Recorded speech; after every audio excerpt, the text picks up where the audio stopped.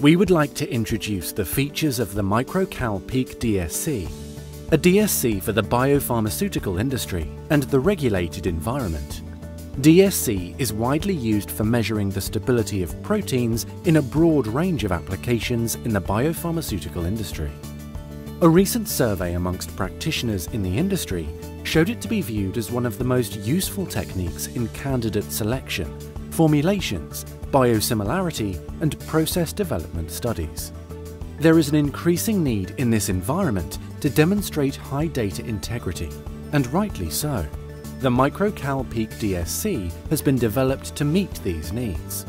Here, we will outline a number of features that will facilitate working in this demanding environment.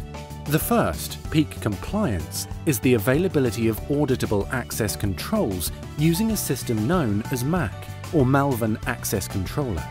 This allows managers to control who should have access to certain data analysis features and to ensure that experiments are performed using standard operating procedures, or SOPs.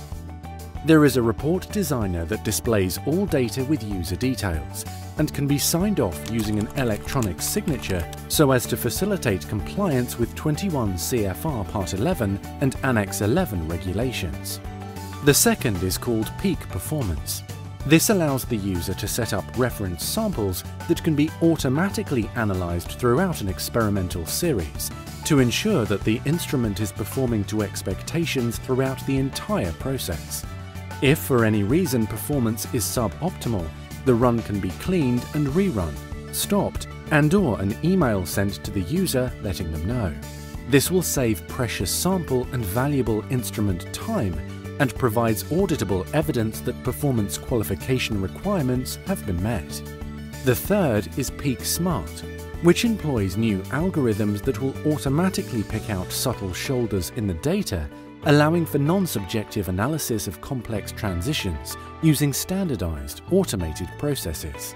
This will make it possible to validate complex analyses that can be used to support data interpretation when communicating with managers and peers. The fourth is PEAQ Compare, a tool that allows for easy quantitative comparison of DSC data used to monitor batch-to-batch -batch variability or biosimilarity.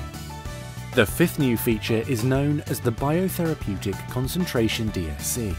An accessory will soon be available that allows for measurements to be run at very high protein concentrations. So, for the first time, formulations and manufacturing groups can check the stability and quality of their product using DSC at biotherapeutic concentrations. We are proud to announce the MicroCal PEAQ DSC, a great new DSC that can work in a GXP environment, is easy to use, has automated non-subjective analysis protocols, and, for the first time, allows DSC to be performed at biotherapeutic concentrations.